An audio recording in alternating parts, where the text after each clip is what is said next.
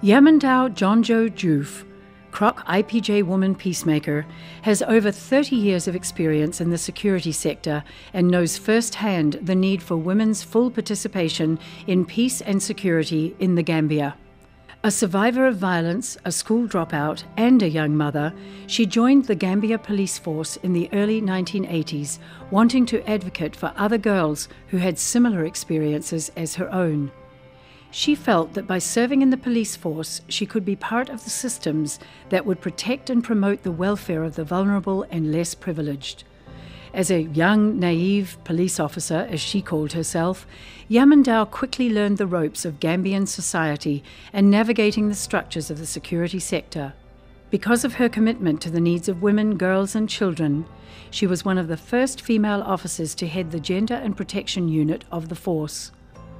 Yamoundow then took that learning and experience to the United Nations peacekeeping missions elsewhere in Africa, where she witnessed how conflict affects men and women, boys and girls, differently. During violent conflict, women often become the sole providers and protectors for their families.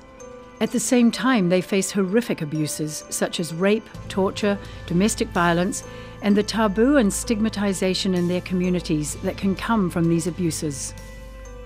In Liberia with the UN mission, Yamoundow observed this as a patrol officer, radio communications officer, and police advisor on community policing. She also helped rehabilitate and reintegrate more than 200 ex combatants, both men and women, back into their communities. Through an association she helped establish, Progressive Youth for Development in Liberia, the former fighters organized entrepreneurial activities to gain economic independence. In Sudan, on a UN mission, Yamoundow helped internally displaced peoples in Darfur gain skills to help them obtain viable incomes. She also ensured greater and more productive relationships between IDPs and the security sector.